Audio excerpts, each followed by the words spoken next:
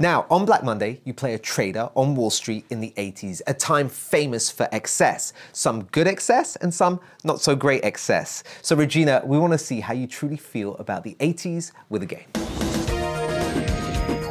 Here's how this is going to work. I'm going to present you with some icons from the 80s, and as a trader, you're going to tell me which ones you would buy and which ones you would sell. Okay. Okay, I'll give you this pack. Oh, okay. Okay, would you buy or sell big power shoulder pads? There's a point where they're good, but then they get. So there's levels to this. Yeah, the There's 80 shoulder gradient. pads were really big. But I'm still gonna buy them because they make your waist look narrow. You're beautiful. I don't think there's a question about this, but I'll ask you buy or sell ultra stretch custom limos. Oh, No, listen, Don Cheadle's character has the sickest Lamborghini Countach stretch. AKA a limbo.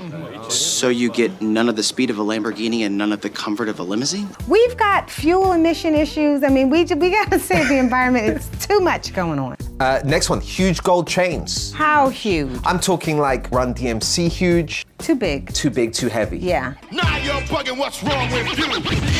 Nouvelle Cuisine, where they serve you and it's like $100 for like the tiniest little pretty. No, no. get rid of it. they look so pretty. I like food. I mean, that just feels like I just got angry thinking about a little portion that tiny.